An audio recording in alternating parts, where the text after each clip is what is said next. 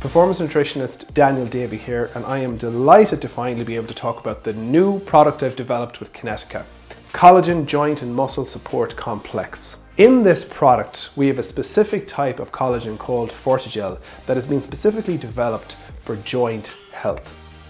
It's also complemented with vitamin C, which is known to be important for the development of new collagen. Supports your immune system too, of course.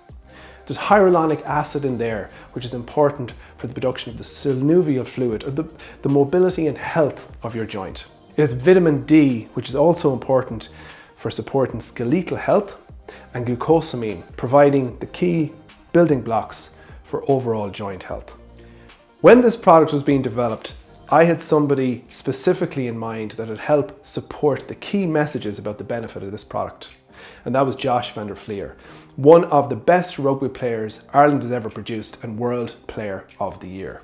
The reason I thought of Josh is not just because of his consistency and his attitude to preparation, but also because he used the specific collagen protein in this product during periods of injury.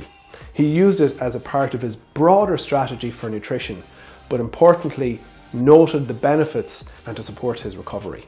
I was fortunate enough to sit down and have a conversation with Josh about his preparation, his mindset, nutrition, and supplement strategies before he went to the World Cup. It was a brilliant conversation where I actually learned more about Josh. I really enjoyed the conversation and I hope you do too. We've always had such great conversations about nutrition and I wondered where was that fostered from or where did it start? Because you came into the academy with that interest.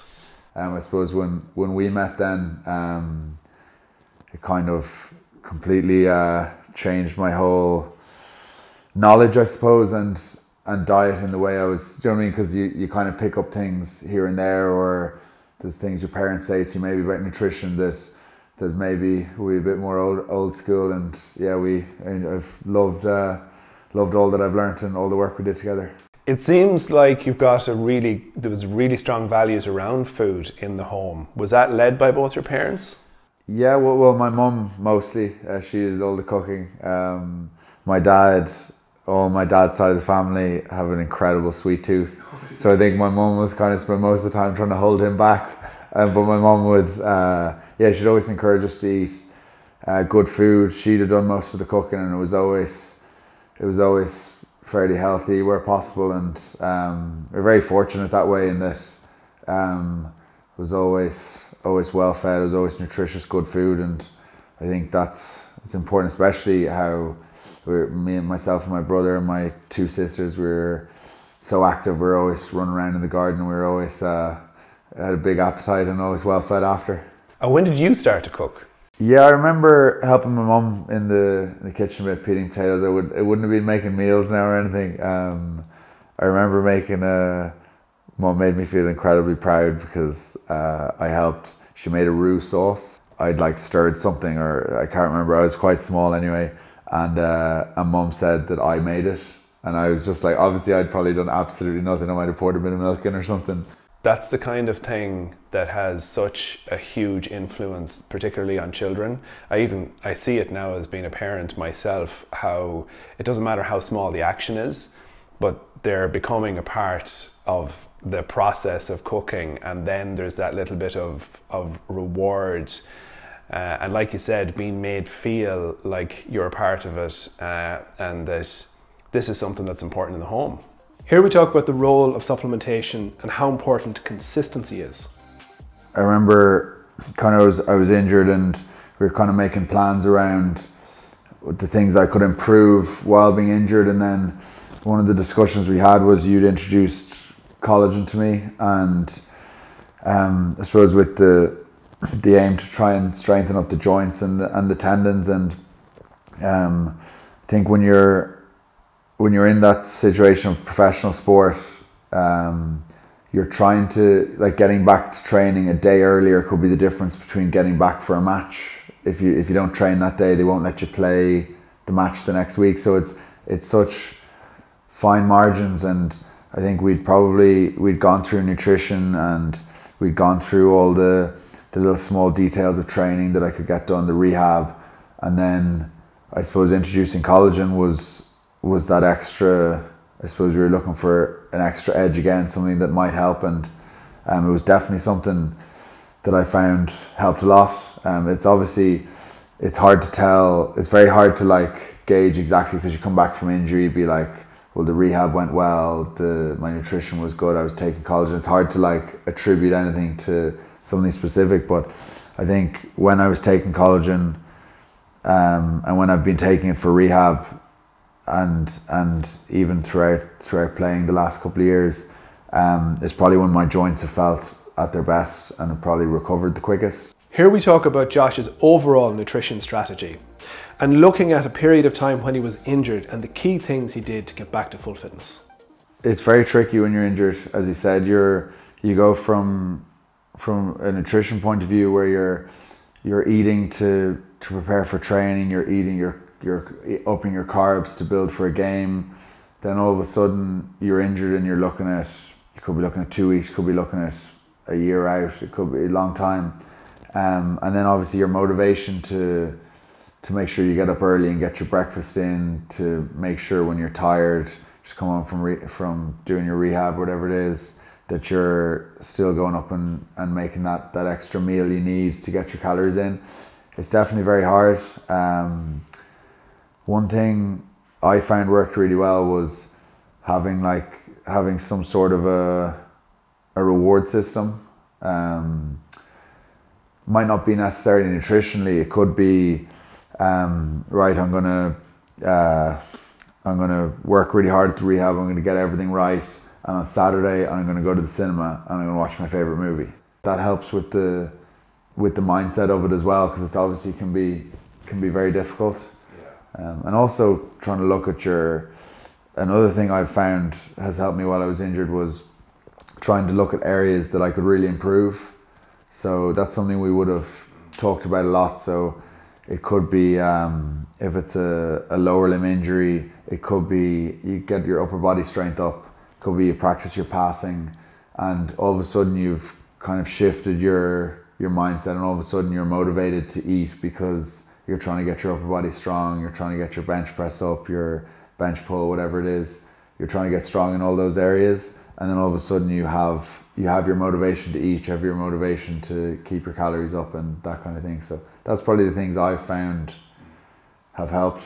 This is a product that I have full confidence should be a part of athletes' rituals. You know, it should be a part of if you want to maintain strong joints and you want to progress and and have a strong body that is, is resistant, resistant to injury, and even if you are feeling that wear and tear, that there's something that you, you can do. So I suppose just to go into a little bit more detail, the collagen is a Fortigel and it is formulated, it's one of the most well-researched types of collagen uh, in the world, which aims to be far more specific to joint health or to, to tendon health. And I think that that's something that's really important. Where's, where's the science? Like the science in collagen is still relatively new compared to other areas, but it's emerging all the time and then complementing it with vitamin C, because vitamin C has been shown to help support the, the synthesis of collagen and, and the formation of collagen, and to have that there in that amount, which will also support immune function. Vitamin D for good general skeletal health, uh, for everything from mood and hormone production. Um, again, at a dosage that is not excessive but can be taken year round. Uh, and then hyaluronic acid, which is a natural part of our joints anyway, in the production of synovial fluid and the way that the joints move. And there's some interesting stuff now coming out in uh, people who are managing osteoarthritis and how that managed helps to support reduction in pain. Having a consistent process and routine is critical for athletes. It's a big part of their preparation leading into big games. But you also need to be adaptable. Here Josh talks us about the importance of fluidity, being adaptable, because you never know what can happen leading into big games. Josh also talks about the advantages of being aligned with a brand like Kinetica, supporting his nutrition strategies when he's on the move. It's very convenient really, like, so leading up to to a game and even throughout a regular training week, um, having those supplements available to me is is uh, is hugely important. Um, there's definitely we we spoke about the the collagen and having that make sure my my joints are strong and feeling good, and then um, whether it's the so the whey protein you're taking after a session if you don't have time to to get a full meal in, or the or the energy gels taken before or during a game. Um, they're definitely controllables that that you can rely on. You can throw them in your bag. I have them in a bag. There's no, there's probably very little situations where that's not gonna end up um, end up working out for you unless your bag gets lost in, in the airport or something. People are really interested in the little things, the small tweaks that you make day to day to impact your performance.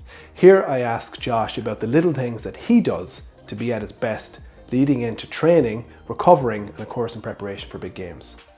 At the moment, um, because it's pre-season, trying to get a load of calories in, and probably have a bagel with the with the eggs. Then you're heading off to heading off to training. So we'd um, start off going through a bit of uh, movement health type thing. So uh, whether it's a bit of stretching, a bit of rehab kind of exercises, um, anything that that that the body needs, I suppose, to get going and get ready training for the day. Um, after that, we'd kind of have a little opportunity to I'd have another another little snack. Could be um, could be a banana, could be a, a protein shake, and then and then we're into say our gym exercises and throughout gym because weight is quite important to me and trying hard to, to keep to keep my weight up. I'd have a kind of high carbohydrate drink during during my gym session then.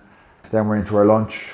Have a big big healthy lunch normally just um, you have your carbohydrate could be uh, could be potatoes, you have your meat and your veg. It's pretty um, pretty straightforward. You have a bit of sauce here and there. And then we go out for, for rugby training on the field, staying hydrated. Sometimes depending on how, how tough it is, you might have a bit of a, a carbohydrate or a rehydration type uh, solution in the in um, in your water to try and get through the session, especially this time of year it can be a bit warm and and then normally an awful lot of running.